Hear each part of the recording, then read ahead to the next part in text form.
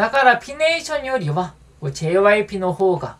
問題だと思いました。楽楽。皆さんこんばんは、ティライです。今日は2022年デビューするグループについて話してみようと思います。韓国記事にもなったんですけど、2022年は7つの会社同士、アイドル対戦が始まるっていう、こういう話がありますね。7つの会社は、SM、HYBE、JYP、YG、スターシップ、キューブ、まあ、そしてピネーション。まあ、初めて聞く会社もあると思うから、こう簡単に説明すると、こう SM ハイブ、JYP、YG はこうみんな知ってると思うから、あちょっと置いといて、こうスターシップはこう代表的にマシスタとこう宇宙ソニョがいるかなこう新しく出たアイドルはこうアイブっていう、まあ、ガールグループで12月1日にデビューしました。こうアイブにはこうアイズウォンのユジンさんとこうウォニョンさんがいるから結構注目されてますね。こうハイブにもこうアイズウォンのサクラさんとこうチェウォンさんが入ってるからもっとアイズウォンのメンバー同士競争になるのかな。まあそしてキューブエンターテイメントはこう代表的にポミニとかこうビストがいますね。こうハイブ방시혁社長もそうだし、こうキューブの社長もこう JYP 出身です。まあ本当2022年はこうコールグループがこう大変になりそうですね。こうハイブも2つのコールグループが出るし、こう CJ からケプロ、こうさっき話したこうアイブとこう YG もいるし、こう JYP まで、まあ、本当競争が激しいと思います。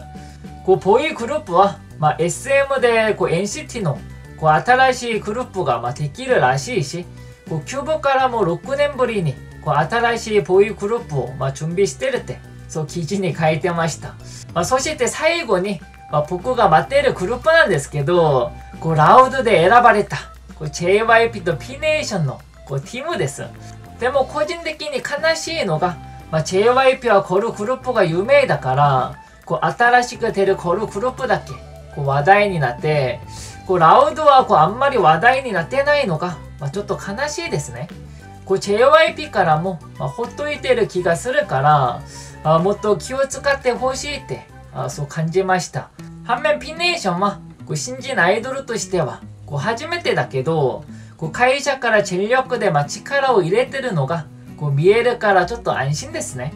こう韓国記事を見てもこう JYP はこのグループのこう説明だけでこうラウドの参加者の話はないんですけどこうピネーションはこうメンバー一人一人、まあ、全部書いてるしこうサイさんもこのグループにこう力を入れてるから、こう十分に競争力ある、こうチームに成長する可能性がこう高いってそう書いてるんですよ。まあこの記事を見た韓国反応を見ると、こう4つから1、こう7つになったんだ。とか、こうピネーションは1つのグループだけのために、こう大きいビルドアップだっていう、まあそういう反応もあるし、こうピネーションがいつからこうアイドル会社だったんだとか、これ全体的にちょっと批判的な反応がこう多いんですよ。こうピネーションはまだちょっとこう早いっていう反応なんですけど、まあ、確かにまだこう新しい会社だし、こう今ピネーションにいるこう歌手たちはこうアイドルっていう感じではないから、こうアイドルとしてはこう今出るコキ君たちがこう初めてなんですよね。でもこうやっていろんな方にこう伝えることができただけでも、すごくいいことだと思います。だからピネーションよりは JYP の方が問題だと思いました。まあ、このグループは問題ないと思うんですけど、こう、ケイジュ君たちがちょっと心配ですね。今練習頑張ってると思うので、こう一緒に応援しましょう。こう記事にも書いてる通り、こう2022年はこうチェレのないこう歌謡界のピックマッチにこうなりそうですね。まあでも今日本もすごいから、こう次の動画はこう CJ グループの JO1 こう INI とこうチャニス、そして BE:FIRST、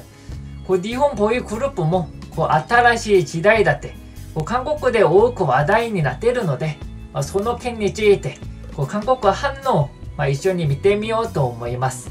まあ、また気になることや、まあ、聞きたいことがあれば、お、気楽に聞いてくれると嬉しいです。まあ、今日は